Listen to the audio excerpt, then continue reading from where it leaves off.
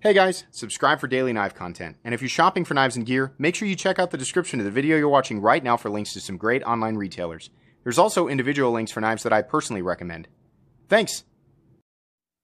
What's going on YouTube? Metal Complex here, and today I want to talk with you guys about the 2020 slash 2021 uh, Sharp by Design Evo Typhoon. Now, I have already reviewed this knife, and uh, these are, other than some uh, aesthetic differences and some blade shape changes, these are largely the same um, designs from 2017.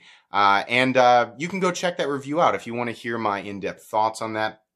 Um, I, uh, I decided to order mine actually before I had ever handled the 2017 version. there were some, some of my friends were talking about the release of this model uh, and that I should, you know, check out Sharp by Design and follow them on Instagram, which you guys should too.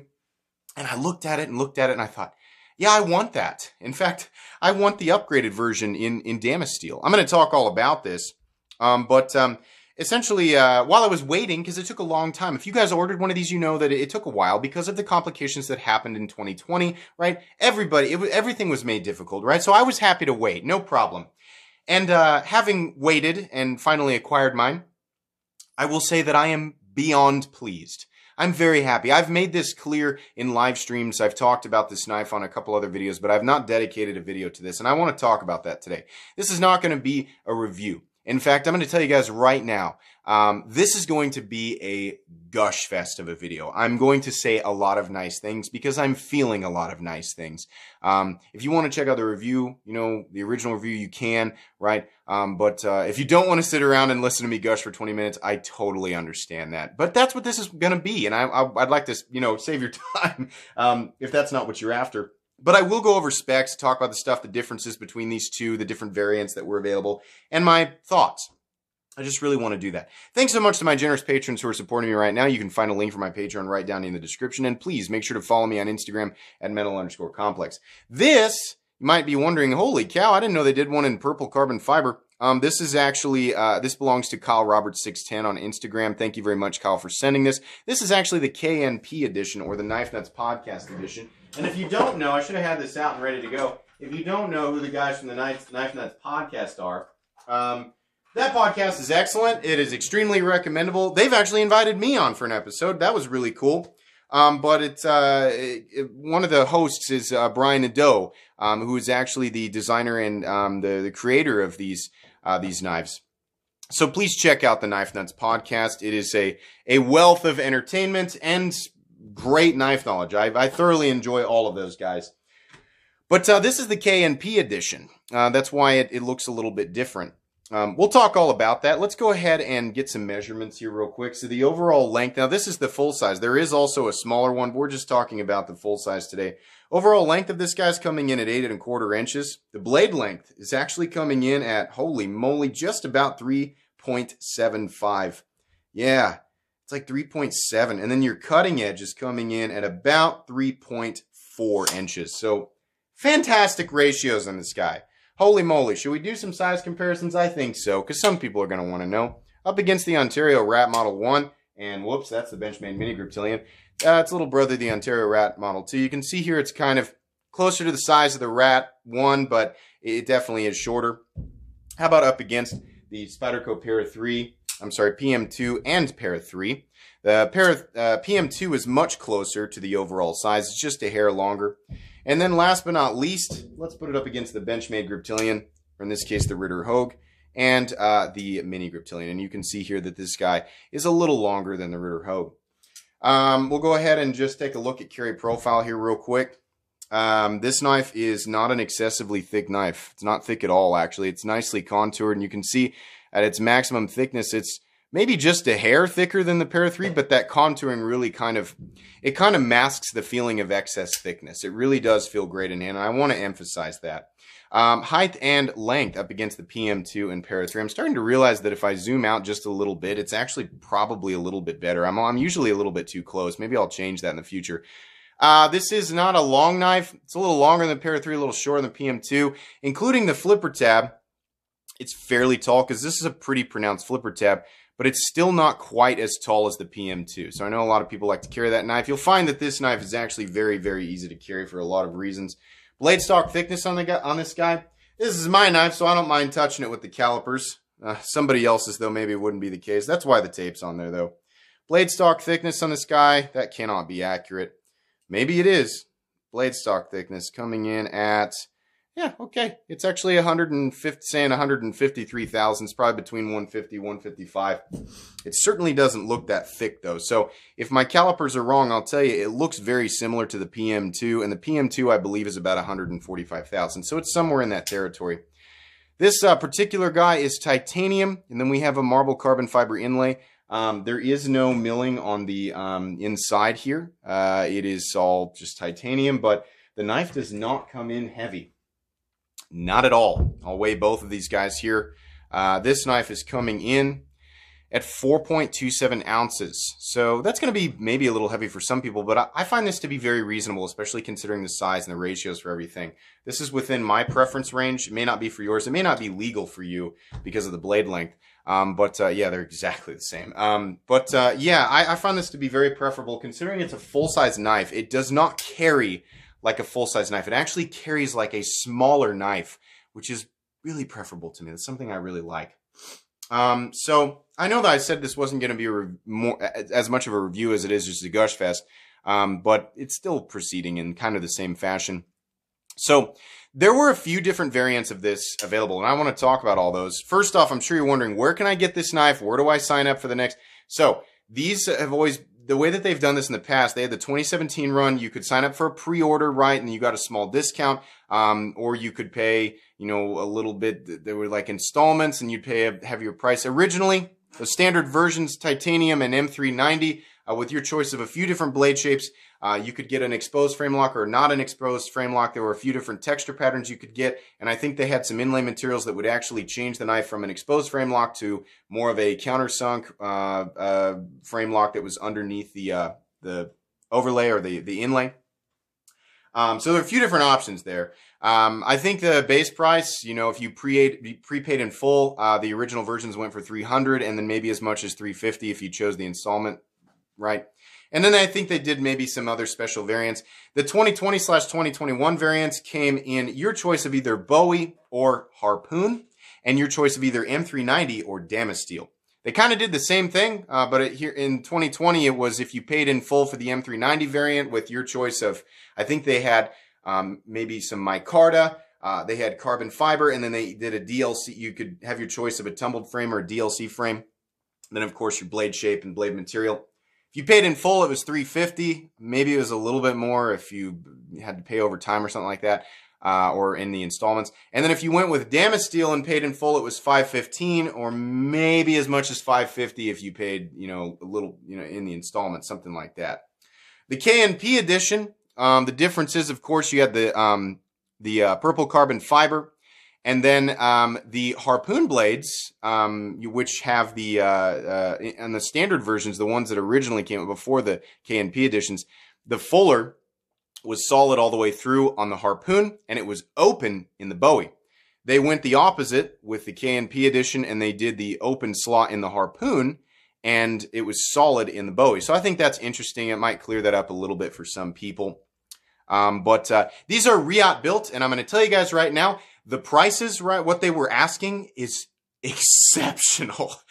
I mean, I know, I, know that you guys can get, you know, combinations of carbon fiber, titanium, uh, M390, and uh, in some cases, Damasteel for, you know, some cases may, maybe less or whatever. But what I'm talking about here is the build quality and design. Um, it is amazing the amount of quality that you're getting here, especially in the $350 variants. That is mind blowing. These knives rival the quality that I have seen in knives that cost way, way more. I've definitely handled knives that are six, seven, eight hundred dollars that don't feel as good as this. These are excellent for the money. I'm going to go over every last little detail here, but we have beautifully, beautifully knocked down corners here. The inlay work is exceptional and nothing short of perfect. It is truly a seamless transition here. Somebody with their eyes closed would not be able to tell the difference between these surfaces unless they're really good at identifying what what smooth carbon fiber feels like over titanium. But it is the transition is perfect, and it's the same way with this guy. It is fantastic. The biggest thing here, the biggest, uh, um, you know, it, it's one of it's the it's you know, sometimes with knives like this, I really have to stress that people need to handle them. Um, if you're looking at this and going, it looks like another titanium frame lock, right? Handling this and experiencing it and flipping it especially the action on these things, it's just unreal. It is so consistent. Uh, uh, this is, it, they have this lip detent system I've talked about before that is not a traditional detent ball. It's something that Sharp by Design does, and it's the reason, sorry, this thing is still set to like ramp, and I think it's running out of batteries, so it's being a little bit buggy anybody who's ever messed with the Anduril UI knows kind of what I'm talking about here. Do we need to just have a different flashlight? Maybe we'll use this big boy today. Um, there we go. Can we ramp up a little bit there? Yeah, okay. So there we go. Um, you can see that little lip up there. Sorry, the thing's not wanting to focus. Can we get it to focus? Yeah, there you go. You can see that lip up there. It's not a detent ball. Now, I'm not going to pretend to understand exactly why this creates this experience, but for whatever reason, it is very crisp. That's the best way to describe it.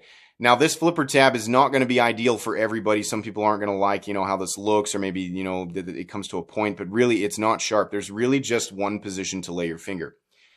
This has one dedicated means of deployment, and it also suggests that there is one specific spot to put your finger. Now, if it's going to get that specific, it, it needs to be really good. It, it at least needs to be really good. This is beyond good. For the one place that you are supposed to put your finger, because listen, you can push button it, but I wouldn't recommend it. I'd put my finger here where they want you to, right? This is the only way to deploy it. It is perfect. It is flat out perfect. It could not be better than that. Now, this is just my opinion. Maybe not everybody shares the exact same opinion as me. I don't want you guys to think that I take myself that seriously to suggest that there's no argument that could possibly be applied here. But in my opinion, versus everything else that I've handled and experienced, right? and especially considering that this is the only way to deploy it, it is perfect. It is going to deploy. You cannot fail this thing. But straight up with your thumb, it's just going to deploy. It is incredibly smooth and incredibly consistent all the way down.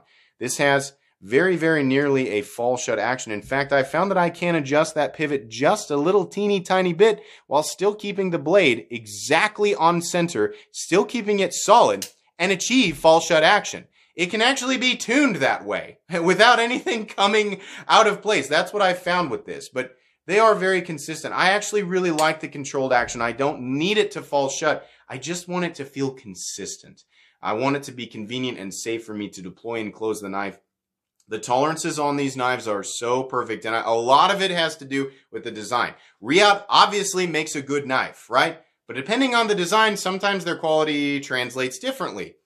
This design, in combination with Reate's quality, yields this amazing experience, right? So I, this is obviously owed, you know, a lot of this is owed, of course, to the original designer, uh, Brian Nadeau.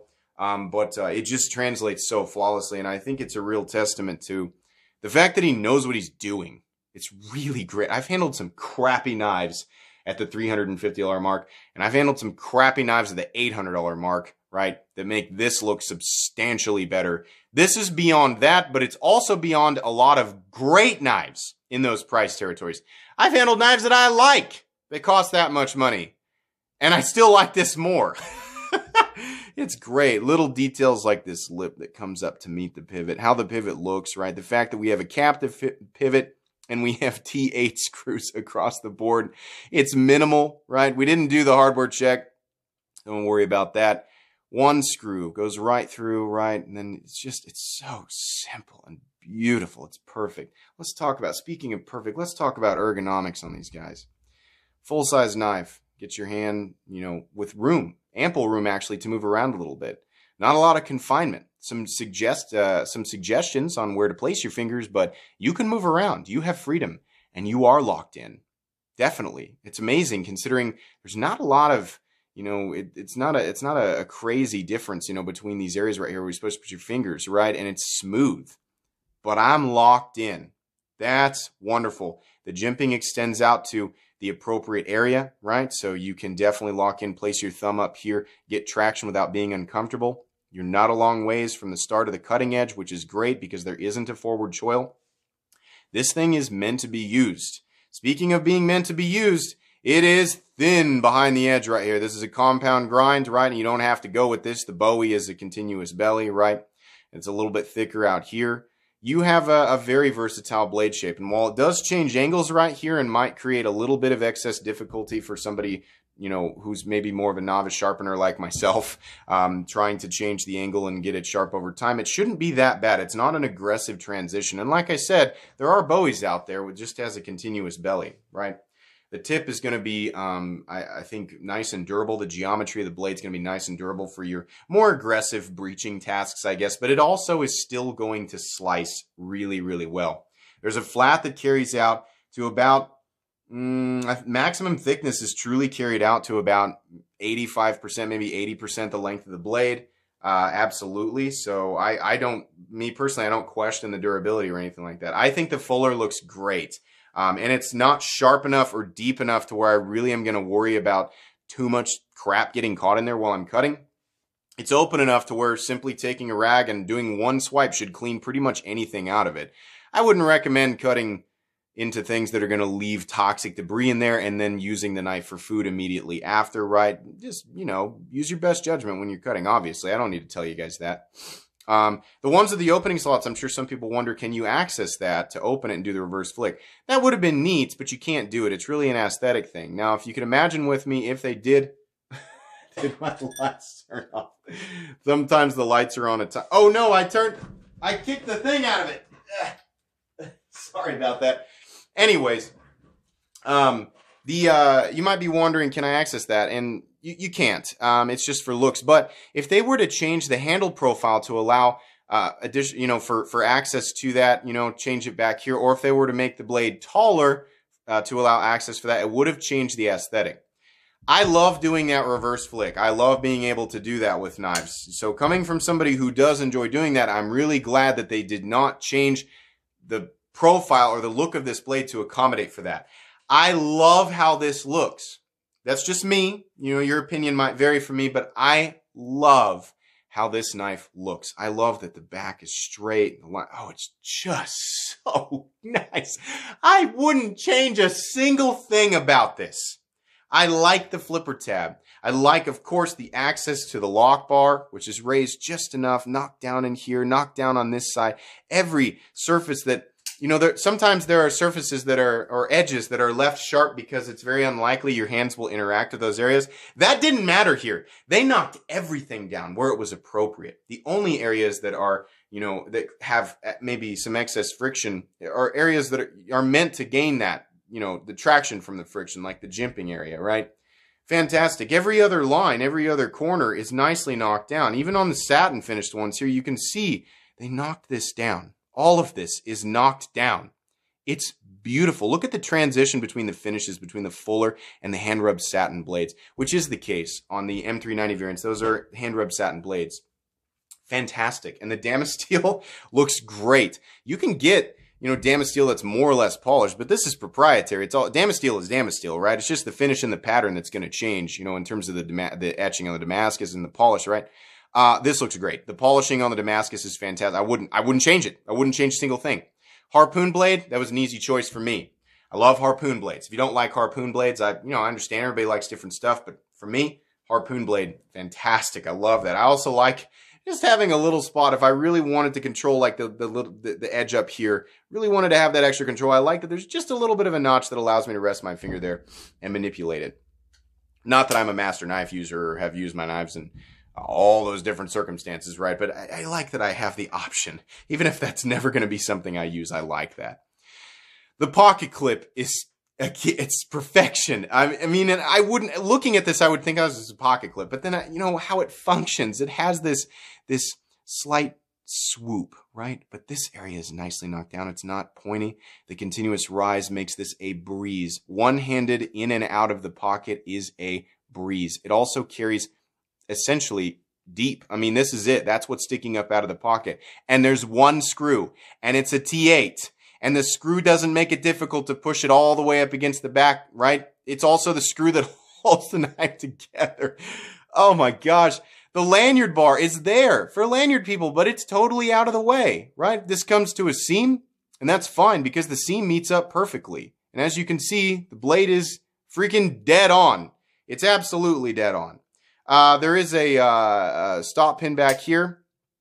That's fine. You can see we've got some shouldering actually. So the, uh, sorry, it's wanting to focus back there. It does wrap around that stop pin and lock up extremely well. No blade play up, down, left, or right. We have fantastic engagement and geometry on the lock face. And there is a steel lock bar insert, by the way.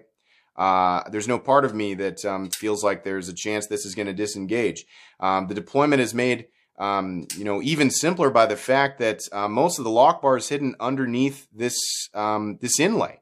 So you can pretty much put your fingers wherever you want and it's always going to deploy. No matter how hard you squeeze, you're really not going to affect the geometry. Sometimes on an exposed frame lock, you squeeze really, really hard, it's going to stay locked in, but you might be grinding that lock bar further into the, um, into the lock face and you might be decreasing the life of lock bar a little bit. I, those of you who own exposed frame locks, you might be thinking, oh my gosh, do I have an inferior design? No, you don't. I'm just saying for those of us who nitpick little teeny tiny things like that that may not really matter, you know, I mean, it's like, oh no, your frame lock's only going to last for, you know, 40 years as opposed to 60 years. You know, it's like, it's, I mean, it's, a silly thing maybe to complain about, but I like that it, it that is the case. I love that both of these have been centered. In fact, you you know, hearing from other people, I've found that everybody pretty much has the same experience. The lockup is always in the same place. It's always solid.